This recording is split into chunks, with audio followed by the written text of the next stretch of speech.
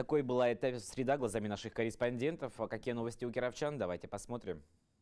Сегодня день очень солнечный, погода прекрасная, на учебе все хорошо, вообще отлично. Я очень люблю наш колледж.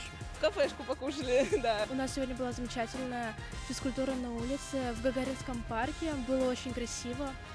А, Особенно вот такой листопад золотистый. погоды, которую мы ждали целое лето. Такие подружки, веселушки, одноклассницы, очень редко встречаемся. И вот сегодня мы вот вырвались из своих семей. Встречи с хорошими людьми.